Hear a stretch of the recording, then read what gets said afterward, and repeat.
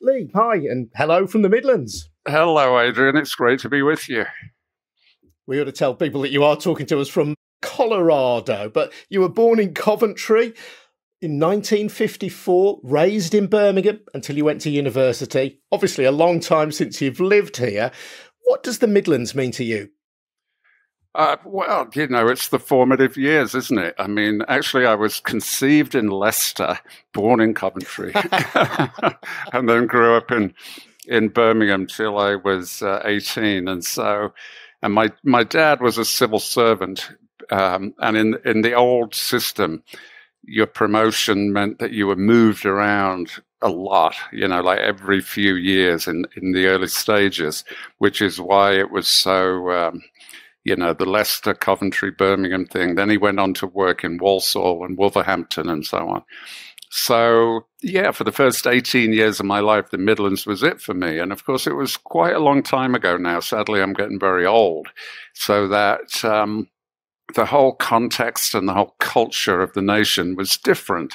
It was very uh, much more regional. The, the, instant communication or the instant familiarity between one place and another was was different back then. You were very much limited to your immediate surroundings, and other places were like distant rumors. I mean, I can remember eventually when I'd graduated university and went to work in Manchester, I was meeting people who who thought of a trip to London from Manchester as sort of dangerous and exotic as perhaps going to Moscow or something like that. It was a very, very parochial world. And so the Midlands was all I had for the first 18 years, which are obviously the formative years of anybody's life. Um, so when you ask what did the Midlands mean to me, I mean everything. It, it was it, that's who I am. That's where I grew up, and I think that sociologically and culturally, we don't change all that much uh, after those early years. You know, your first couple of decades, that's who you are. And you grew up in a suburb of Coventry called Styvechale, I think. Can you remember anything of Styvechale? I know you left at the age of four, so pretty young. Have you got any yeah. memories of Coventry? Oh yeah, I do. I mean, you know, they are typical childhood memories, a bit incoherent, a bit sort of episodic. Um, but yeah, I, remember certain things very well. I remember the house that we lived in. I remember uh, my dad going to work on his bicycle. Uh, Coventry was tremendous bike town, and I remember, for instance, at the end of a shift in the factories, you would have thousands, literally thousands of men coming out on bicycles. It was like a tsunami of bicycles, uh, 10 abreast down the street off they would go back home. I remember the, uh, the bombed out cathedral. Um, and a lot of bomb damage, you know, as you know, uh, Coventry was, was bombed badly in, in World War II. And because of various circumstances, it was taking a long time to, to fix that damage. And I was born nine years after the war, and my, so my memories are probably, you know, at the earliest 12 or more years after the war. But still, yeah, there was tremendous damage. There were bomb sites everywhere, the wreckage of the old cathedral, and next to it would be the building of the new cathedral. And that I remember we would do that as a, a matter of routine uh, when we went shopping on a Saturday. We would visit, you know, stop and see the progress. Um, so I have very, uh, very, blurry, very fragmented, but very fond memories of Coventry, really. In general, I think everything about me and therefore everything about Reacher is somehow connected to the national response to the Midlands. Uh, you had to be an outsider, really, if you came from the Midlands, because I was very much under the impression, subliminally, that the rest of Britain kept you at arm's length. You were never quite allowed to join, uh, you know, being English.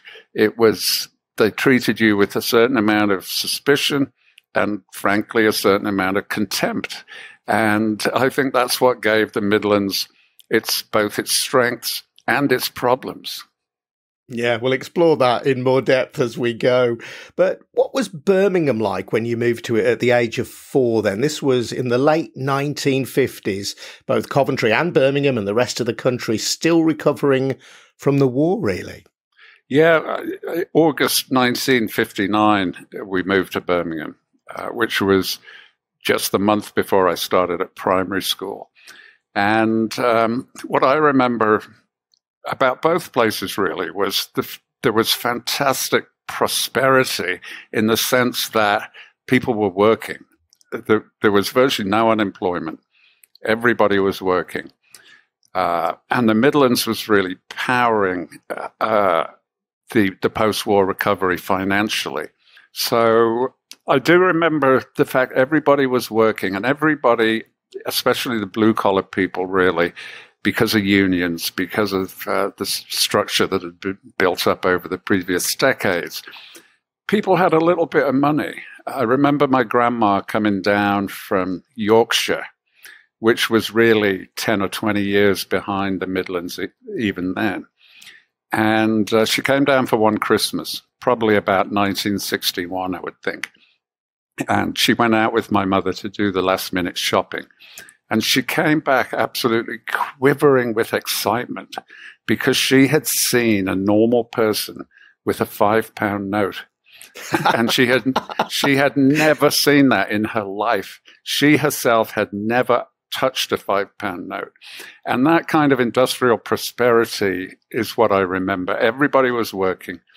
And that had so many ramifications, to be honest. It made a, a very self sufficient population, a kind of self reliant population. It was baked into everybody that you got these raw materials, you worked on them, and something finished came out the other end of the factory. And that was an attitude that kind of suffused everything. If, if you, if you, your window broke or something like that, you would fix it yourself. If your cooker went wrong, you would fix it yourself. Everybody had a familiarity with in- industrial process. And that gave it a completely different atmosphere that I've really never experienced anywhere else. And you've been at pains in the past to stress that this wasn't just metal bashing or people working in foundries, which may have been more typical nearby to Birmingham in the Black Country. A lot of this work was very fine work, work of great craftsmanship. It certainly was, yeah. I mean, I remember the car business, which was immense. Uh, you know, Longbridge, for a long time, actually had the world's longest production line and uh, immense workforce and immense productivity. Um, and then the other, th- another third would be the super high tech uh, metal finishing, where people would be extruding, you know, which was a word I didn't know as a kid. What what is that? They were extruding these alloys with long names that you couldn't even pronounce or understand. Um, so there was a high tech sector, and then there was the kind of down and dirty workshop sector, um, which I knew best really through friends that I had locally. If you wanted something made, you could get it made, whatever it was. And these would be small workshops. And I remember one of them that where my friend's dad worked, which it had an earth floor um, and a couple of lathes and a couple of drill presses and three guys. And they would make anything you wanted. It's worth stressing, though, isn't it, that your own family, although your dad was white collar and he was a civil servant, you weren't particularly well off despite that. We weren't. I mean, it, it, was a peculiar inversion, really, that, you know, the unions in Birmingham and the productivity was so good that blue collar people were earning decent money, actually more than my dad, probably. Um, but for him, it was, you know, a, a silly status thing. He, uh, you know, he, he, he loved that whole thing about being middle class. That's that was his ambition.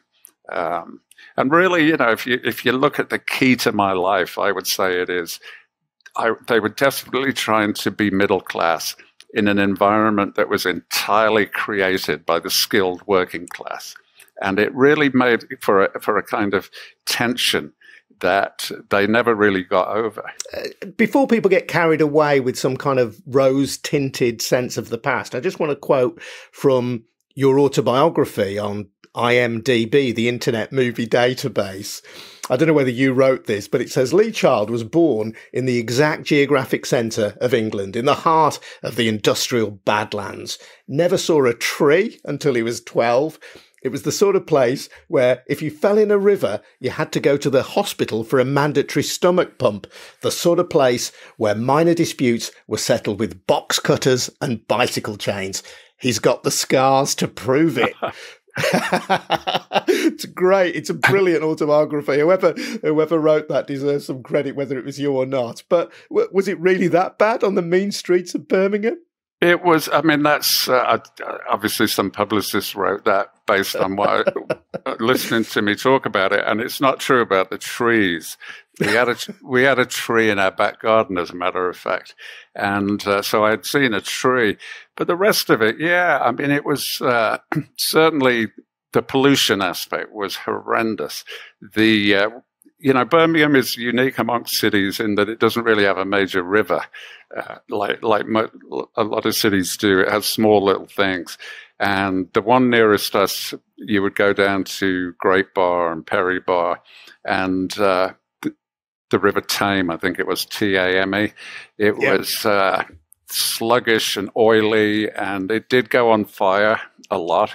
And nearby, there was a little patch of ground where with two little sickly trees growing and with a sort of yearning irony, we, we called that Bluebell Woods. And uh, it was this muddy patch, except the mud was not mud, it was like oil waste bubbling up. And uh, so, yeah, we were prohibited from going there because if you got it on your clothes, your clothes were ruined. And if you got it on your skin, you would have to run home and wipe it off with lighter fluid because wow. people assumed it was very bad for you.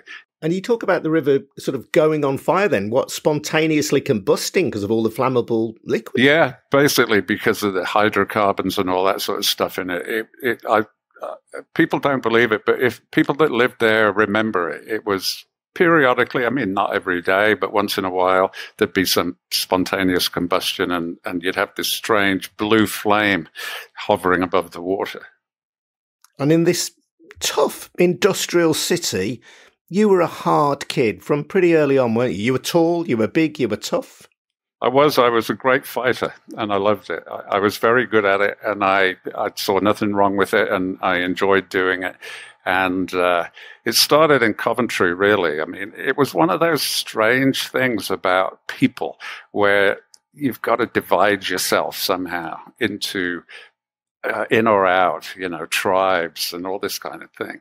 And our problem was uh, we were, our family was aspirational. You know, they wanted us to do well at school. And if you were that sort of a family, then you had a target on your back. Uh, you know, if you were getting good marks and doing well, even though discipline in the schools was fine back then, you know, it was very traditional. There was no none of this sort of mayhem in the classroom or anything like that. But on the way to and from school, there was this weird hierarchy of uh, if you if you were trying to do well and getting good marks, you were a target and people would be lying in wait for you and all that kind of thing. But that suited me fine because I loved it. I was good at it. And um, it got even worse then later when I went to the posh grammar school. Uh, you know, that was a nightmare. Every morning I would have to fight my way out of the neighborhood, and every evening I'd have to fight my way back in. But it was fine. I didn't mind it at all. And the problem in particular for us in Birmingham was Handsworth Park, which was um, between where I lived and Handsworth itself. And uh, that was territorial in that old fashioned way where you know, you weren't supposed to go to this part or that part. Uh, but if you wanted to walk through, then yeah, it would be. And bicycle chains were a big deal. Um, I remember actually a funny thing happened. It shows you how your psychology is fixed all the time. I was up in Wyoming, uh, where I have a ranch, and there's a sort of outdoorsy, like climbing, hiking store in Laramie. And I saw on the counter they had these things called Norwegian saws. And what they are is it's the chain off a chainsaw with all the little teeth. But instead of being in a chainsaw, it has a wooden toggle on either end. And the idea is you throw it around the tree and then you, you sort of move your hands left and right and you cut through the tree. Uh, you know, it's a good survival tool, I suppose. And I remember it just flashed into my mind. God, I wish I'd had one of those when I was nine. you mentioned your posh grammar school, King Edward's High School in Birmingham, which you had to pass the 11 plus exam in order to, to go there. But reading your biography, I get the real sense that your junior school, which was called Cherry Orchard in Handsworth Wood, in a way had a more profound impact on you. Well, you're right there. Yeah. I mean, in, using that word profound, what was the foundation of my education? And that was definitely Cherry Orchard. It was a very plain county primary school. It was old fashioned education, reading, writing, and arithmetic, and uh, almost nothing else. So I left there when I was 10. And uh, I would say at that age, if I'd never learned another thing in my life, I would have been absolutely fine. I could have gotten through life perfectly because they taught you everything you basically needed to know.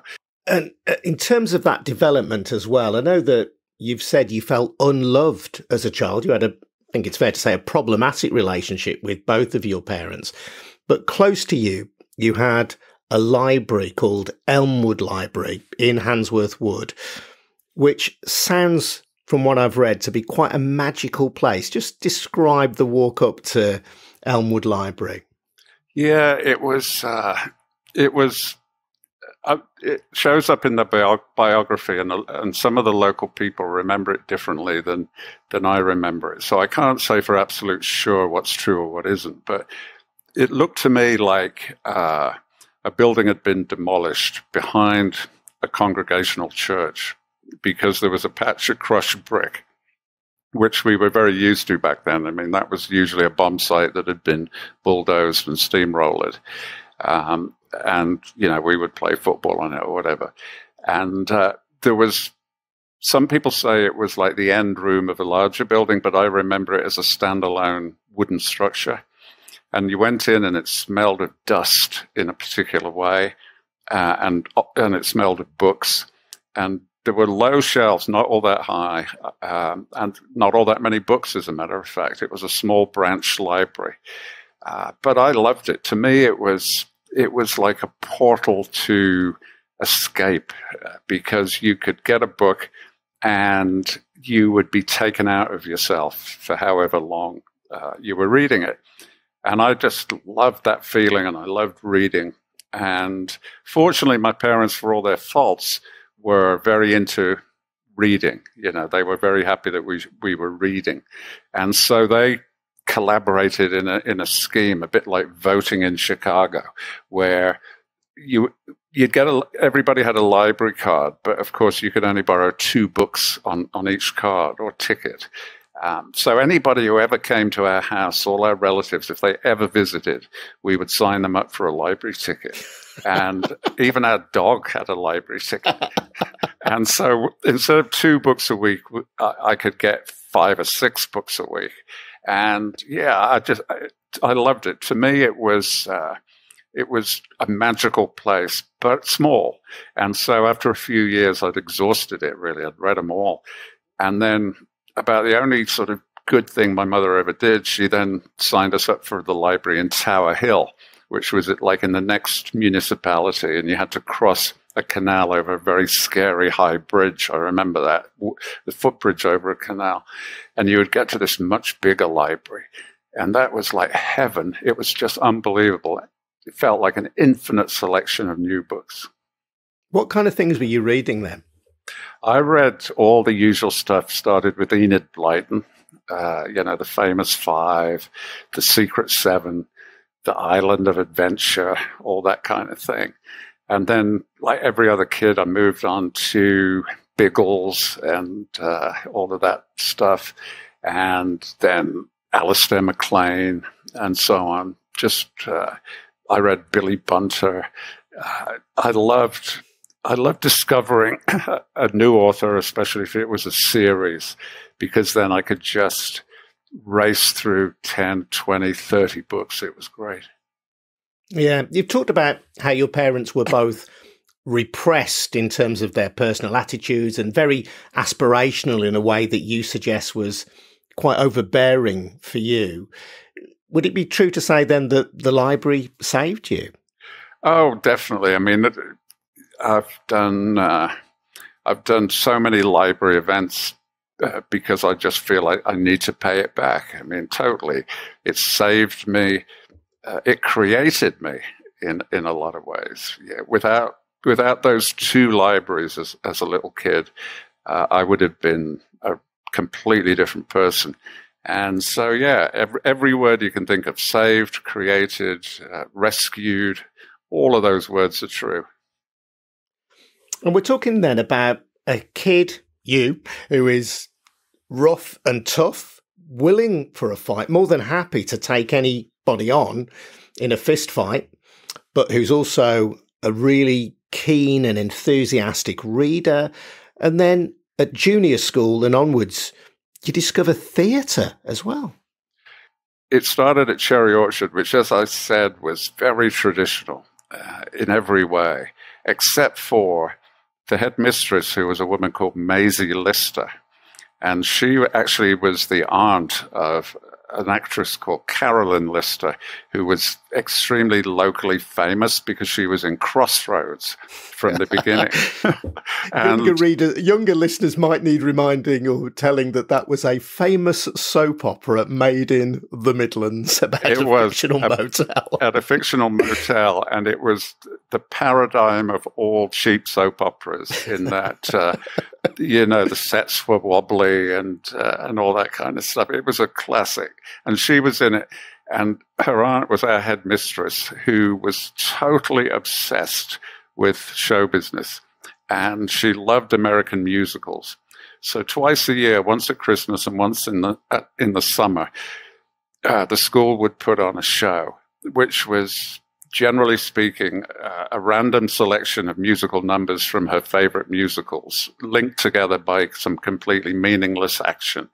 And, uh, you know, it was a, in the school hall, which looking back on it was pretty small, stage at one end and the lights and the beaming children on the stage and the and the beaming parents in the seats. It, it was such a happy feeling. It was warm. Uh, it was about love and approval. Uh, I somehow intuited that you could be on the stage and you would receive love and approval from an audience, which I was not getting uh, as a person, uh, as you know, an individual child. And so, from that, literally that moment on, I was hooked on the idea of some kind of performing that I could get the love and approval that I wasn't getting elsewhere.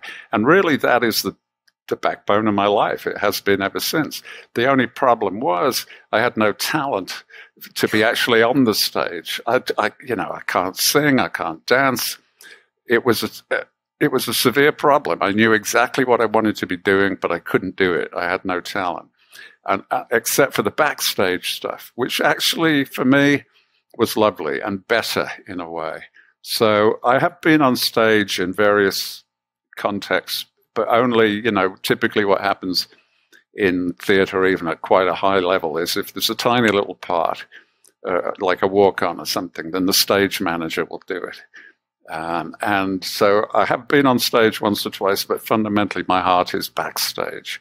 And uh, so I've always done backstage jobs. It sort of migrated then into television. And then writing is, is the ultimate backstage job because theoretically, if you think about it, it's not about the author at all. It's about the book. It's the book that's in the marketplace. And the author is way behind it in the shadows. And so yeah, you know, that, that has been the operating principle of my life to try and entertain an audience in the hope of getting love and approval. Having gained a love of theatre, though, you then discover the greatest playwright, arguably, possibly the greatest Midlander of all time, William Shakespeare. And that comes about pretty much by accident. It does. And, you know, you, you, you told me beforehand you were going to ask me for notable Midlanders, and obviously in my line of work, I'm going to start with William Shakespeare, who was just a transcendent genius in terms of uh, of being a writer. I mean, beyond, not even on another planet, you know, in a completely different galaxy from anybody else. Um, and I was first exposed to him. I think I was about nine, probably. And my mother was a member of a a club called I think it was the Young Wives, and they had uh, block bookings with Stratford, um, and we they would take it turn and turn about. My father would take my elder brother on the first occasion, and my, my mother would take me on the next occasion. And I remember, uh, you know, being told we were going there. And as you said before, you know, I was a rough, tough kid. I had, I, I read a lot, yeah, but you know, I was, I thought, why, why would I want to see that? And I was skeptical about the whole thing. I thought it was la di da, and I thought it was not going to be for me. But it was one of those magical experiences that happens to you a couple of times in your life if you're lucky. You sit down, bang, two hours are gone, and you've just been completely enraptured by the whole thing. And uh, I remember every detail about it, just magical, just wonderful. Even the costumes, I mean, everything was great. And uh, there's no reason really why a nine year old in the modern era should understand Shakespearean language and all of that. But don't forget, the RSC at Stratford were just magnificent. At uh, you know, they were probably the best company in the world at the time, and certainly the best Shakespearean actors you will ever see. And it was just all completely understandable. You could follow along. It was obvious. It was great.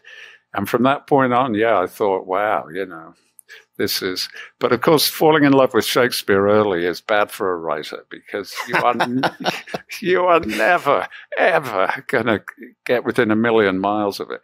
And the thing that I really, you know, I've written twenty five books, and uh, I've uh, probably three or four times in those in that quarter century had that feeling of euphoria that the line you just wrote is really pretty good. You know, you just think, yeah, God, I nailed that.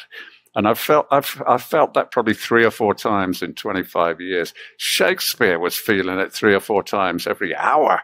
You know, it was just uh, phenomenal. So you've discovered this love of theatre. You're into your into your reading, but you're also kind of a tough and good-looking young lad. And into all this, then you're entering the world of sex and drugs, of rock and roll. That was very much your era. Now we're going to draw a discreet veil, don't worry, over the sex and the drugs. but the rock and roll, there was plenty of that. There was, uh, yeah, that was the whole parallel strand of what was going on. And again, I had no really no musical talent, but that was the paradigm for me. Really, starting with the Beatles, it was so obvious, you know, the the, the adoration, the ecstasy of be, of being involved in either giving or receiving that that uh, pop music in the beginning, and um, and yet then it, there was an absolute explosion, really, uh, everywhere uh, every, every, town had had uh, a music scene going on. Yeah, there was so much going on in, in, in the Midlands in particular. Uh, you know, it was just great. It, it was it's impossible to communicate now to to the younger generation. You know, now if you want to see a great band, you book eight months in advance to some stadium thing for a ticket that costs like a hundred bucks, and you have to. It's a big, big, big deal. Uh, but back then, no, it wasn't. You, there was no pre-booking of anything. You would show up at the door with two shillings, and uh, you would get in, and you would see some staggering band. You know that was amazing. Yeah, well, there were really thriving rock scenes across the Midlands. In Birmingham, where you were, was the club described by the DJ John Peel as the greatest club in Europe, which was Mothers on Erdington High Street. And you, you went to Mothers, didn't you? I did. It was a weird place. I think it, it, it, was upstairs. I remember that. It was above a furniture shop, I think. That's right. I mean, It was the, the strangest places. Yeah, uh, that I loved Mothers. Uh, it was brief, actually. It didn't last all that long, but it it uh, there were some great shows there, some great gigs. But that was how it was. You would take the bus to Erdington, and you would go upstairs above the furniture showroom, and you would see Pink Floyd or whoever. It was um, quite amazing.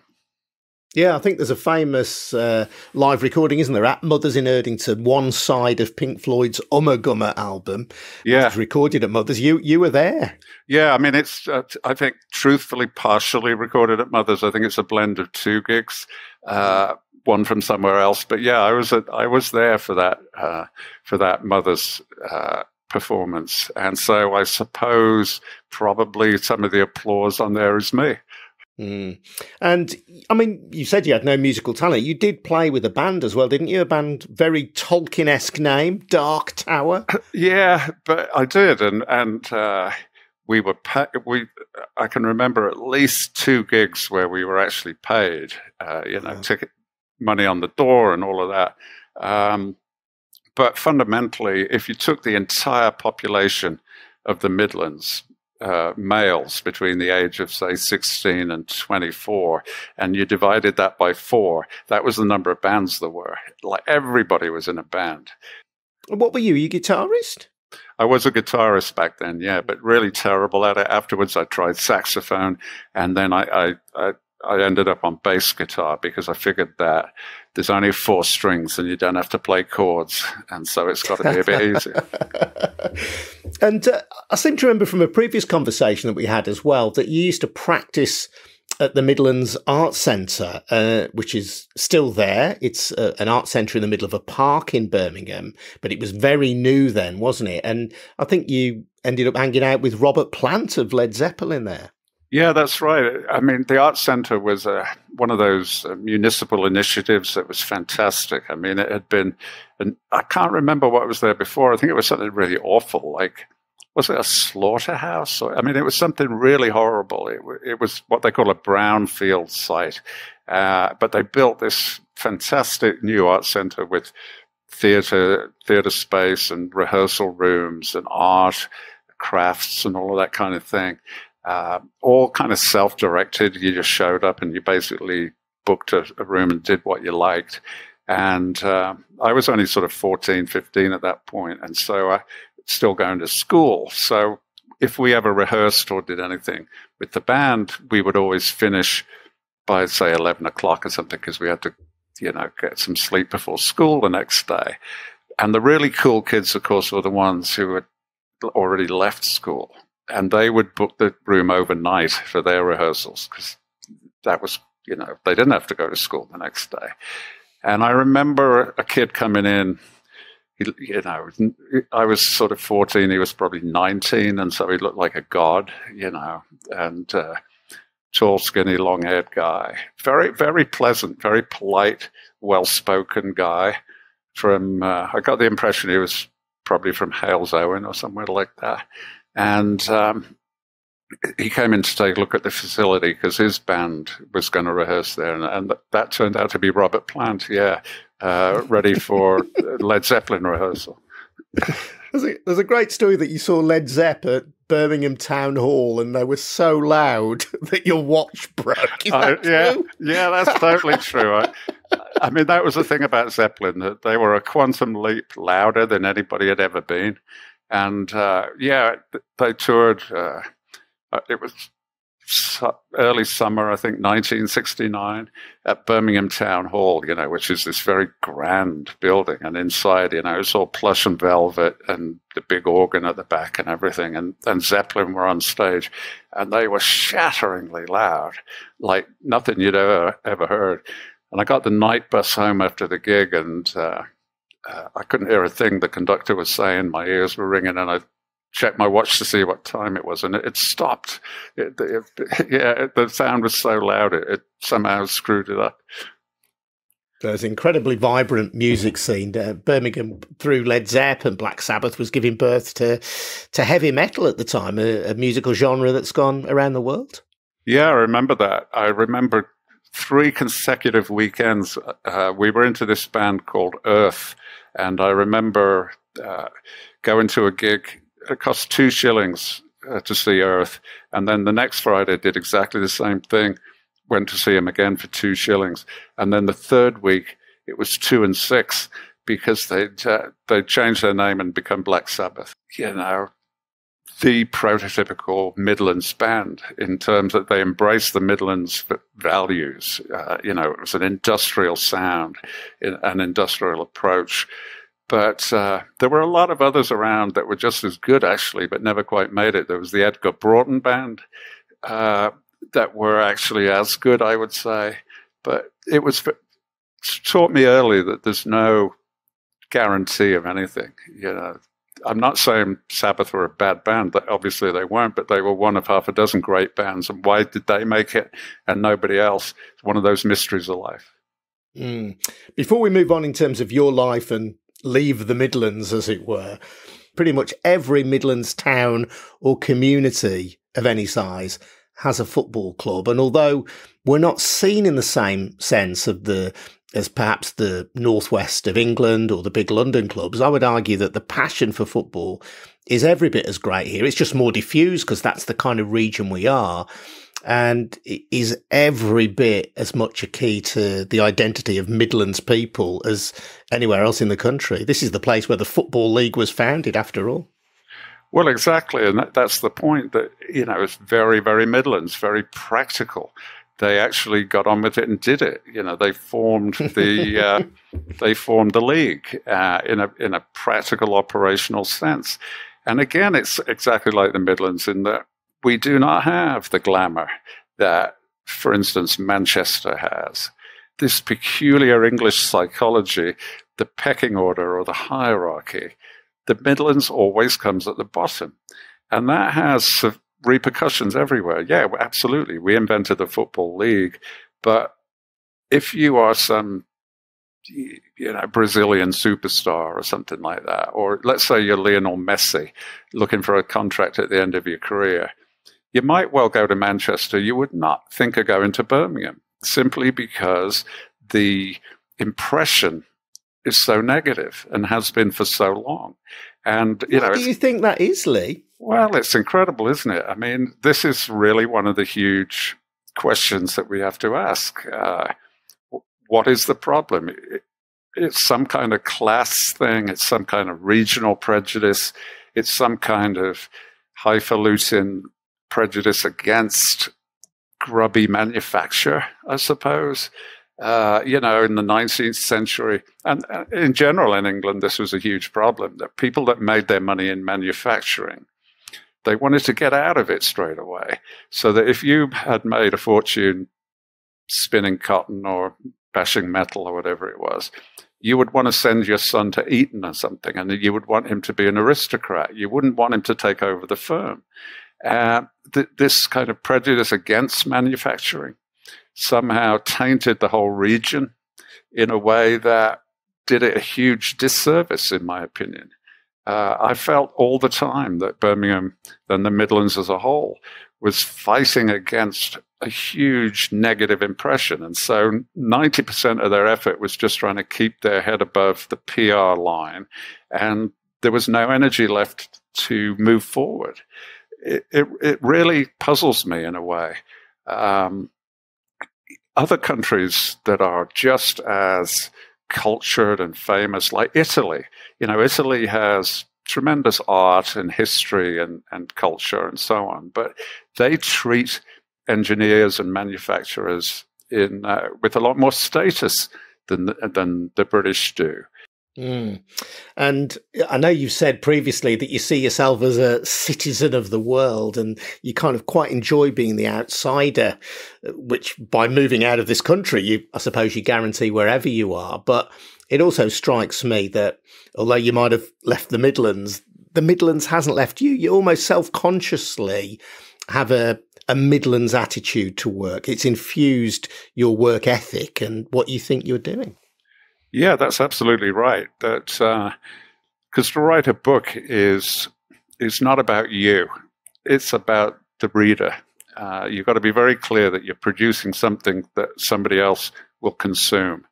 And in fact, if they don't consume it, it's the same thing as not having done it at all.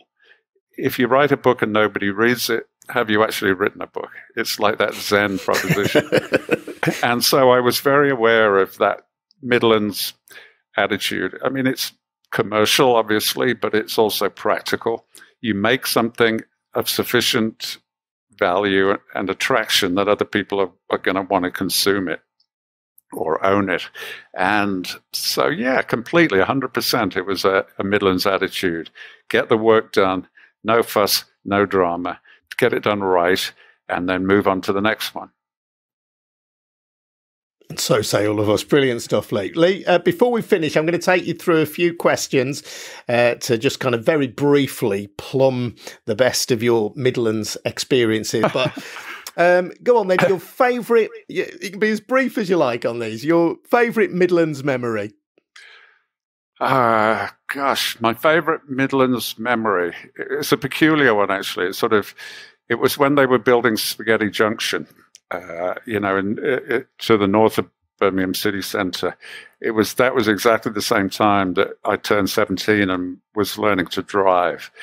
And one night I was driving home from somewhere and I got caught up in the half completed Spaghetti Junction. And I was at this one place where everywhere seemed to be blocked off.